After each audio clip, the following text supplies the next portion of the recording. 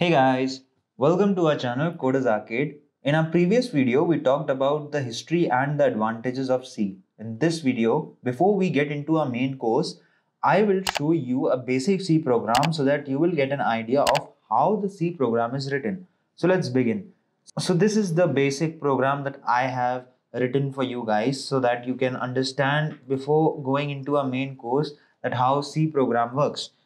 Here, as you can see, I have written first line, main, and then empty parenthesis.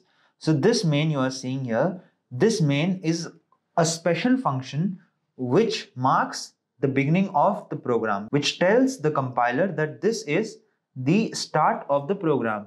So now every program must have at least one main function in it.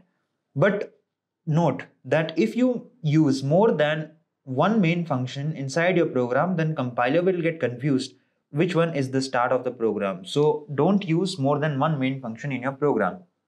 Now, after this, after the main function, you can see this. This empty parenthesis tells us that the main function doesn't have any arguments or any parameters in it. Now, on the second line, as you can see, I have written this curly braces. This opening curly braces tells the compiler that this is the start of this main function. So this is the start of the main function and this is the closing curly braces that marks that this is the end of the function. But in this case, this curly braces marks the end of the program because we have not written anything after it. Now, this opening and closing curly braces marks the function body. Now, inside this curly braces, whatever we write becomes the function body. So this is the main function. This is our function main and this is the function body. And as you can see here that inside this function body, we have three statements written. So these statements are called the instructions of the function body, which are used to perform a certain given task. So on my first statement, as you can see, this is called the comment line. So as you can see, the comment line starts with the forward slash and star. So whatever you write inside the forward slash and star and then ending with star and forward slash, whatever you write inside this will become a comment. So comment is a non-executable statement. So whatever you write inside this will become a comment so that any other user or any other programmer, they will get to know what is the use of this particular function body, what is the use of this main function. These comments are non-executable, therefore these lines are ignored by the compiler. Now let's move on to the printf function.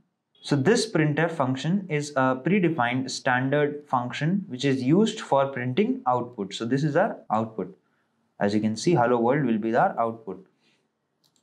Now predefined means this printf was written and compiled and is linked to our program at the time of linking. Now note that this printf function is ending with the semicolon. So this semicolon is very important. Whenever we end our statement in C, we write a semicolon at the end of it. This is also a comment and this is also a comment and this is our printf statement which is the only executable statement in our program. So now when I run it, you can see hello world has been printed. This hello world. So this is all about the sample program that I wanted to tell you before getting into our course. So this is all about this video guys. Thanks for watching. Hope you like the video and if you like it then tell us in the comment section below. If you have any doubts then post them in the comment section. I will definitely try to clear those doubts.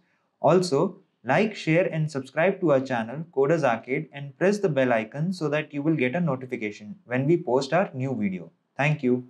Happy learning.